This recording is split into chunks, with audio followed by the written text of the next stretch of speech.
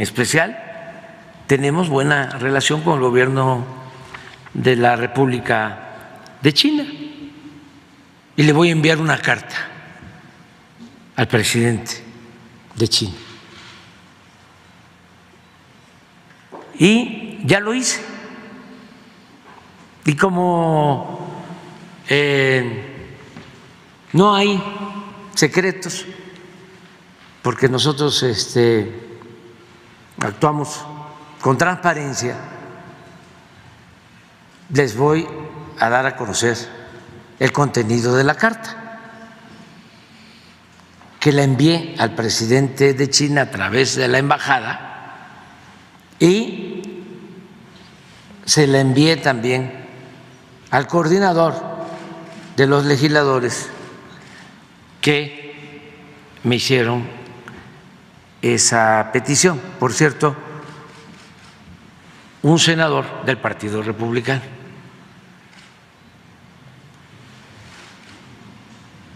Y me gustaría que se conozca la carta.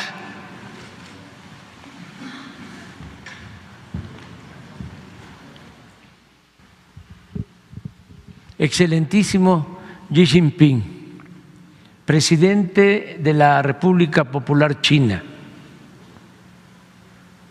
con respeto a su investidura y a la soberanía, la historia y la cultura de su admirable pueblo, y por considerarle nuestro amigo, me dirijo a usted para exponerle un asunto de carácter fundamentalmente humanitario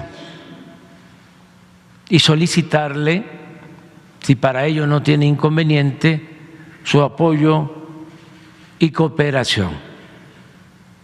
Se trata, presidente, del tráfico de fentanilo que según información disponible se produce en Asia y se vende libremente para su exportación a Canadá, Estados Unidos y nuestro país.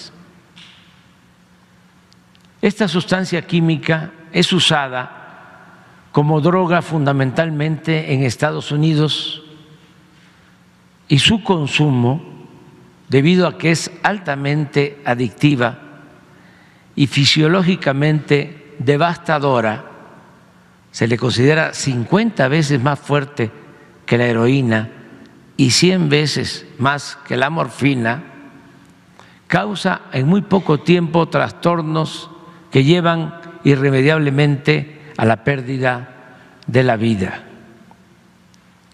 Según datos de los Centros para el Control y Prevención de Enfermedades de Estados Unidos, en 2021 fallecieron en ese país por el consumo de fentanilo 107.573 personas. Por la alta rentabilidad económica de su trasiego, esta droga ha venido desplazando a otros estupefacientes o narcóticos. Se sostiene que un kilo de fentanilo equivale a un millón de dosis con un valor de mercado que se calcula en más de 400 mil dólares.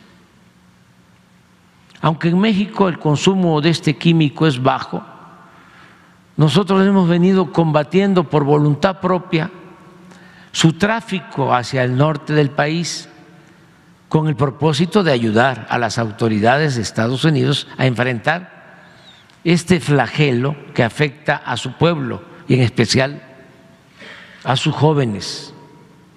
Con este fin, mantenemos un estricto control en puertos, procurando que solo ingrese a México el fentanilo destinado a fines médicos y haciendo una revisión continua de laboratorios que se dedican a la importación de esta droga. Tan solo el año pasado incautamos siete toneladas y destruimos 1.383 laboratorios clandestinos en los cuales se mezcla esta sustancia con otras drogas y diversos precursores químicos. Reitero, en nuestro país no se produce fentanilo y que por nuestra frontera solo ingresa el 30% de lo que se consume en Estados Unidos. Acudimos a usted, presidente Xi Jinping. No obstante, últimamente, de manera falaz e irresponsable, algunos legisladores de Estados Unidos han culpado a México de la desgracia que padecen en su país a causa del consumo de fentanilo. Inclusive han llegado a decir que si no detenemos a las bandas de narcotráfico que operan en México y que introducen esta, esta droga, podrían presentar una iniciativa a su Congreso para que las Fuerzas Armadas de Estados Unidos invadan nuestro territorio. Tales planteamientos son en sí mismos una falta de respeto y una amenaza inaceptable a nuestra soberanía. Además, hay detrás de ello una actitud absurda, manipuladora, propagandística y demagógica que se aprovecha de la falta de información sobre este y otros temas en la población estadounidense. México se forjó México se forjó resistiendo invasiones y actos de prepotencia y sabemos enfrentarlos con valor, patriotismo y dignidad.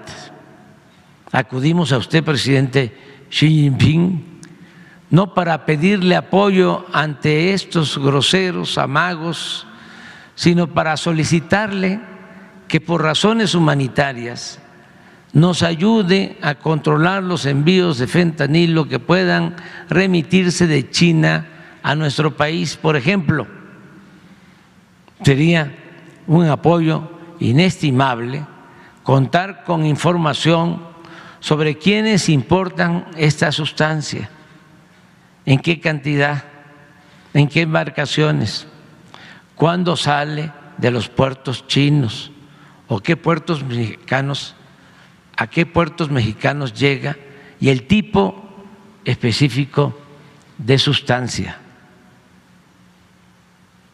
Con ello, nosotros tendríamos un mayor control sobre el ingreso de esta droga que en México solo está autorizada para fines médicos y cuyas importaciones son legales y cuyas importaciones legales son muy pocas las que se utilizan con fines médicos.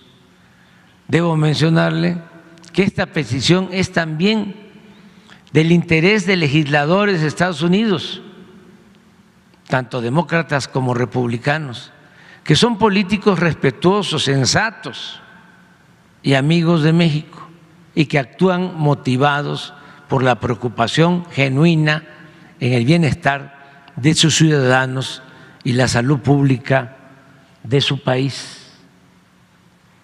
De nuestra parte, sería cargo de mantener la relación con la autoridad que usted designe de su país, el secretario de Marina del Gobierno de México, el almirante José Rafael Ojeda Durán. Amigo presidente, esperemos, esperaremos con mucho interés su respuesta Estoy seguro que contaremos con su colaboración, como siempre ha sucedido. Por último, le transmito por anticipado mi agradecimiento, deseando que las relaciones entre nuestros dos países sigan caracterizándose, caracterizándose siempre por la cooperación y la amistad entre nuestros pueblos y gobiernos. Esta es la carta que ya enviamos.